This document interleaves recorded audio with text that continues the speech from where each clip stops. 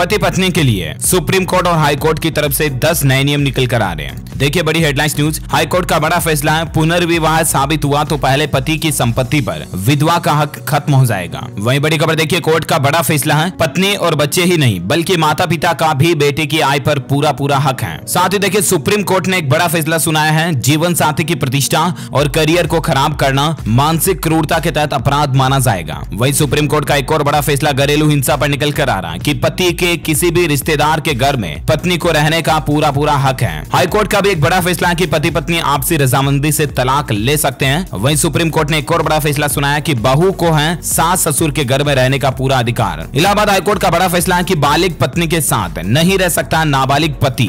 वही दिल्ली हाईकोर्ट ने भी बड़ा फैसला सुनाया कि गोद लिए बच्चे को भी गुजारा भत्ता देना पिता का दायित्व होता है। इस तरह के कई सारे नए नियम पति और पत्नी के लिए निकल कर आ रहे हैं, जो हर एक शादीशुदा इंसान को ज़रूर जान लेने चाहिए। दोस्तों, अगर आपकी शादी हो चुकी है, आप पति पत्नी के रिश्ते में बन चुके हैं, तब तो आपको ये वीडियो पूरा ज़रूर देखना चाहिए। और अगर आप कुआरे भी हैं, आपके बड़े भैया की शादी हो चुकी है, या आप भी कुआरे तो आज नहीं तो कल, कभी न कभी तो आपकी शादी होनी है सो इस वीडियो को ध्यान से एकदम पूरा लास्ट तक देखते रहिएगा। क्योंकि पति और पत्नी का जो रिश्ता होता ना, उस रिश्ते को लेकर हमारे देश की सर्वोच्च अदालतों ने कुछ ऐसे नए कानून, कायदे और नए नियम बनाए हैं, ताकि घर गृहस्थी का जीवन आसानी से चल सके। तो लेट्स बिगिन बिना टाइम वेस्ट किए, मैं आपको एक एक करके थोड़े इन नियमों को विस्तार से बताऊँगा। कुछ और नए नियम भी निकल कर आ रहे हैं, जो एक आम आदमी के लिए, आम नागरिक के लिए जानना ज़रूरी है। चाहे आप महिला इस वीडियो को देख रही हो या पुरुष इस वीडियो को देख रहा हो, बीच में बिल्कुल भी बंद मत करना, एकदम पूरा लास्ट तक देखते रहना। अच्छा पहला नियम, जैसा की मैं आपको बता रहा था की पुनर्विवाह अगर साबित हो जाता है तो फिर पति की संपत्ति पर विधवा का हक खत्म हो जाता है। बहुत बार ऐसे मामले देखे जाते हैं ना दोस्तों की पति पत्नी की शादी हुई होती है और एक दो साल में ही कई सारे पति की मौत हो जाती है या पत्नी विधवा हो जाती है। ऐसी परिस्थिति में कई बार ऐसा होता है कि पत्नी दूसरे पति से शादी कर लेती है, दूसरे आदमी से शादी कर लेती है। ठीक है ना? फिर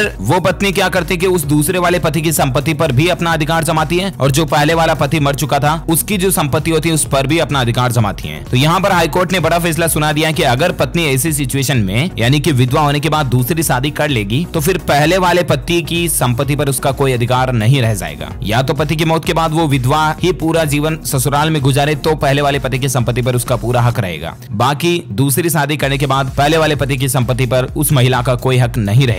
ठीक है ना? तो ये एक महत्वपूर्ण फैसला सुनाया है। आए दिन समाज में इस तरह के मामले और धोखाधड़ी की चीज़ें देखी जाती है तो इसी को लेकर। अच्छा साथ ही अगला बड़ा अपडेट देखिए की पत्नी और बच्चे ही नहीं, बल्कि माता पिता का भी बेटे की आय पर पूरा हक है। आए दिन समाज में ऐसे मामले देखने को मिलते हैं की बेटा शादी होने के बाद पत्नी का हो जाता है और फिर अपने माता पिता की कोई सुनता नहीं है। उनको अगर ज़रूरत होती है तो उनको पैसे भी नहीं देता है। जबकि पत्नी और बच्चों के लिए तो पैसे खर्च कर देता है, लेकिन अपने माता पिता के लिए पैसे देने में उसको ज़ोर आता है। कई लोग तो अपने माता पिता को बूढ़े होने पर रोटी भी नहीं देते हैं। तो ऐसे लोगों के लिए कोर्ट ने एक बड़ा फैसला सुनाया है कि पति की जो आय होती है ना, पति की जो भी इनकम होती है, चाहे उसकी नौकरी की तनख्वाह सैलरी हो गई, या कोई काम, धंधा, रोज़गार, व्यापार कर रहा तो उससे होने वाली इनकम पर बच्चों और पत्नी के साथ साथ उसके माता पिता का भी पूरा हक है, पूरा हिस्सा रहेगा। जितना अधिकार पति की संपत्ति पर पत्नी और बच्चों का होता, उतना ही हक माता पिता का भी होगा। तो वे लोग अब ध्यान रखें, जो ये सोचते हैं कि हमारी कमाई तो अपनी पत्नी और बच्चों के लिए हम तो इनके लिए कमा रहे हैं। तो आपको, आपके माता पिता ने इतने साल बड़ा किया और आपको कमाने लायक बनाया इसका कोई मतलब सेंस ही नहीं निकला। फिर आपके माता पिता पागल होंगे जो आपको इतना बड़ा करके मतलब अपने पैरों पर खड़ा करके आपको शादी करा के कमा खाने लायक बनाते हैं और उसके बाद आप अपने माता पिता से दूर होकर के पत्नी और बच्चों को पैसे देना शुरू कर देते तो ये अब नहीं चलेगा, ठीक है ना? वाकई में कोर्ट का अच्छा फैसला है।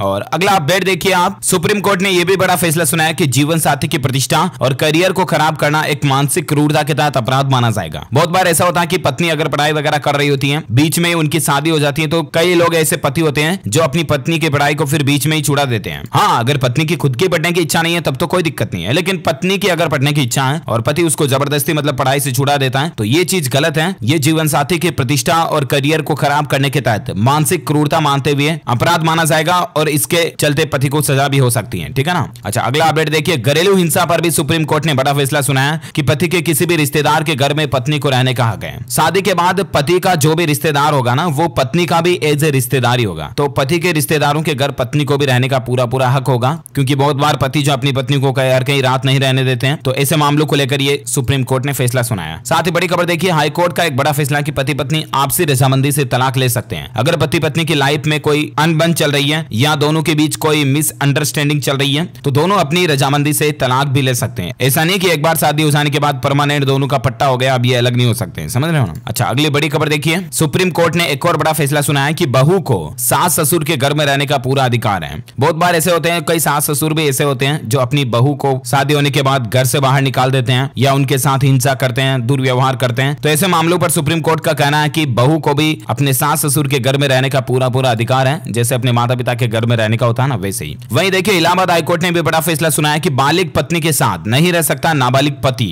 आपको पता होगा, समाज में बहुत सारे रिश्ते ऐसे होते हैं जिसमें पति की उम्र कम होती है, जबकि पत्नी की उम्र ज़्यादा होती है। जनरली जो मतलब शादियाँ होती हैं, उसमें तो पति बड़ा होता है और पत्नी छोटी होती है। लेकिन कई केस ऐसे भी होते हैं जहाँ पति छोटा होता है, पत्नी बड़ी होती है। तो कई जगहों पर पत्नी अगर अठारह साल से ऊपर है, लेकिन फिर भी लड़का, यानी कि होने वाला जो पति है, वो अगर अठारह से कम का है, एक ऐसा ही मामला देखा गया जिसमें सोलह साल का पति और अठारह साल की लड़की है तो उसको ज़बरदस्ती मतलब रिश्तों में बाँध के नहीं रख सकते है ना? जब तक पति नाबालिग रहेगा, पति अठारह साल का नहीं हो जाता, तब तक वो चाहे तो अपनी पत्नी को साथ नहीं रख सकता है। ठीक है ना? तो ये भी एक कोर्ट का बड़ा फैसला है। अच्छा इसके अलावा और एक अपडेट देखिए, आपकी गोद लिए बच्चे को भी गुजारा बता देना पिता का पूरा पूरा दायित्व होना चाहिए। बहुत से समाज में ऐसे केसेस देखे जाते हैं, दोस्तों की पति पत्नी के पहले मतलब बच्चे बच्चे नहीं हो रहे होते हैं, तब तक तो वो किसी लड़के लड़की को गोद ले लेते हैं, ठीक है ना? फिर वो बड़ा हो जाता है, ठीक है, मान लिया दो तीन साल उसको गोद भी रखा, फिर उनके भी भगवान की कृपा से बच्चे बच्चे हो गए, उनके खुद के भी। तब क्या करते हैं, बहुत से लोग, हालाँकि सभी के लिए मैं नहीं कर रहा हूँ, लेकिन बहुत से लोग जो होते हैं ना, अपनी खुद की पैदा होने वाली औलाद में और वो गोद लिए बच्चे में फ़र्क समझने लग जाते हैं। फिर पैदा हुई औलाद को ज़्यादा प्यार मोहब्बत करते हैं, ठीक है, समय के साथ साथ दोनों बड़े भी हो जाते हैं, और मान लीजिए ज़िंदगी में कोई ऐसी परिस्थिति आ जाती है तो फिर वो क्या करते हैं कि गोद लिए हुए बच्चे का साथ कम देते हैं। अगर गुजारा बता देने की भी ज़रूरत पड़ी तो गोद लिए हुए बच्चे को गुजारा बता नहीं देते हैं, चाहे वो लड़की है या लड़का हो। तो ऐसे में, जब वो अपने बच्चों के साथ जो व्यवहार करते हैं ना, वैसा ही व्यवहार उनको अपने गोद लिए बच्चे के साथ भी करना चाहिए। ये हाईकोर्ट का बड़ा फैसला है। अपने बच्चे को गुजारा बता देने के एक मामले में अदालत ने निर्देश दिए कि प्रतिवादी पिता को अपने गोद लिए बच्चे को भी गुजारा बता देना होगा। जबकि प्रतिवादी का कहना था कि यह बच्चा पत्नी की इच्छा से गोद लिया गया था,